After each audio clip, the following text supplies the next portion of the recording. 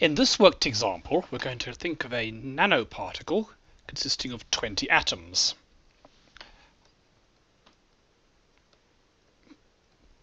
And let's say we have 20 packets of energy, 20 quanta of energy to spread between them. The question we're going to ask is, what are the odds that at a particular moment all the atoms are vibrating purely in a vertical direction, not sideways in any other direction? Okay, so we're going to assume that each atom can vibrate along the x-axis, y-axis, z-axis, so it's got basically three oscillators. So that means the number of quantum states is 3 times the number of atoms, or 60. The number of quanta is 20.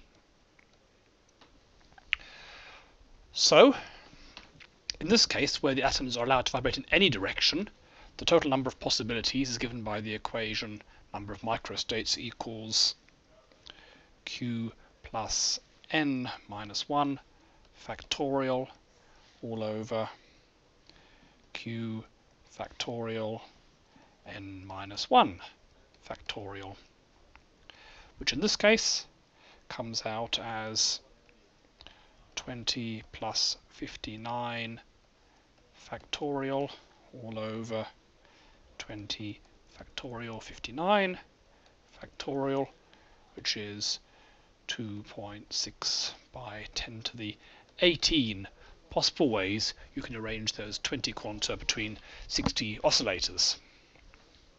But now, let's assume that it can only vibrate vertically. In that case, n is just the number of atoms. It's equal to 20. Not 60 because it can't vibrate in the other two directions. q is still 20. So omega is 20 plus 19 factorial over 20 factorial 19 factorial, which comes out as 6.9 by 10 to the 10 possible states.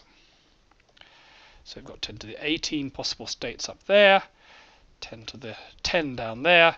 So roughly speaking, it's a 1 in 10 to the 8 chance that at a given moment everything will be oscillating purely vertically. So it ain't going to happen.